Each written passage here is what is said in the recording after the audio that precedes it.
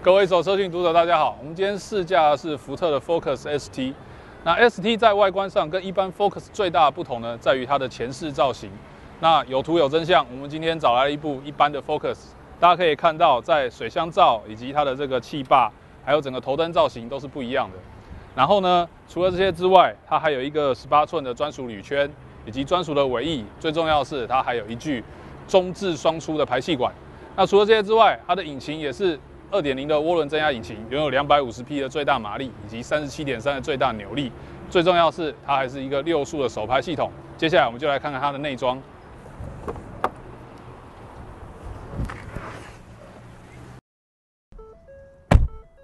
好，我们现在在 ST 的车室内。那其他的内装架构跟一般的 Focus 没有太大的差别，只是说在一些饰板的运用上会有不同的材质。那我们看到方向盘这边有一个 ST 的名牌来验明正身哦。那除了这些之外呢，它在上方还有一个油压、油温以及增压表的设计。那最重要就是这具六速的手排变速箱，它为了让这个操控呢可以跟更加的迅速，然后方便，它在一档、二档、三档、四档间，其实它的行程是非常的短。尤其是我们常在山路上用到了二二三档之间的进退档，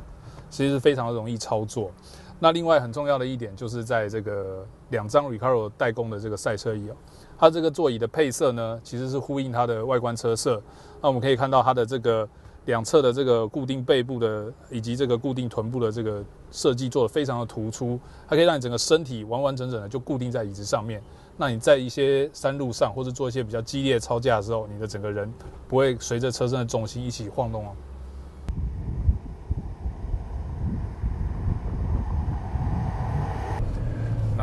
在热血之前呢，我们要先来提这部车在一般道路上的实用性。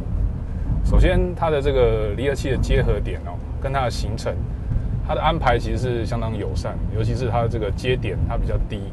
所以呢，你在塞车的时候不会因为脚一直抬来抬去，感觉到很难开，或者是脚会很酸。那另外一点呢，就是它离合器行程不长，但是它的回馈力道表现的。相当好，尤其是跟上一代比起来，上一代的离合器踩下去，那种好像踩到烂泥般的那种没有回馈的感觉，会让你很难掌握离合器的接点。那讲完这个离合器的这个好处之后呢，要再讲它的这个六速手排，它的档位相当明确。那你在一般市区行驶的时候呢，它这里还有一个扶手，可以让你跨在上面，然后可以轻松的去做任何换挡的动作。那只是说这个扶手的部分呢。虽然你在慢慢开的时候可以把手摆在上面，可是当你一旦比较激烈一点的时候，你就会发现，在换挡的时候，这个好像跟手卡在一起，不是很方便，也让你的这个动作啊有一些没有那么的顺畅，这是比较有一好没两好的地方。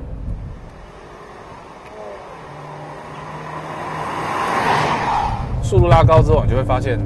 它的转向非常精准啊，原因来自于除了它有一些特殊的这个操控的。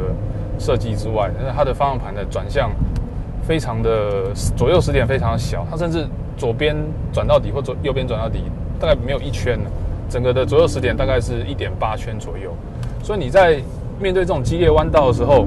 你不会有太多那种手忙脚乱的感觉。其实方向盘轻轻一转，大概都可以攻克百分之九十以上弯道，不会让你开到啊什么换手手要打结啊这种状况，尴尬的情况不会出现。那另外一个好处就是，当你在方向盘的指向这么明确，而且呃，它的操作这么简单之后，你在进弯前的退档，就可以完全用一只手去操作它，也不会觉得说，哎，好像失去了车辆的这个操控的感觉。所以在作为这个人车一体的操驾界面的感受上，ST 这部分做的相当成功。另外一点值得一提的是，这个 Recaro 的这个座椅，它的这个椅子呢，它的包覆性非常的好。把你整个人包覆在中间，然后面对一些激烈弯道的时候，你也不用担心身体会被扯来扯去。这个腰部的这个支撑性非常好。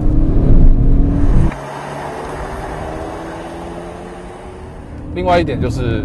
这个悬吊的表现，当速度稍微提高的时候，这个整个悬吊的支撑性呢，反应就没有像在一般慢速行驶来那么好。为毕竟 Focus ST 的车身重量比较重，那面对这种剧烈的重心转移呢，其实还是有一些软脚的感觉。那各位如果喜爱开车快感的话，这个悬吊的强化是一定要做的动作。